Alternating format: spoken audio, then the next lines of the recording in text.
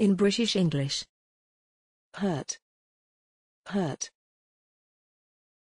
hurt, hurt, hurt, hurt. Examples in phrases and sentences. My back hurts. Plural noun, hurts. Dad had hurt his leg. Ow. You're hurting me. I felt so hurt and alone. Thanks for watching this video. Please don't forget to subscribe. You can find similar videos for each and every English word in the dictionary on our website.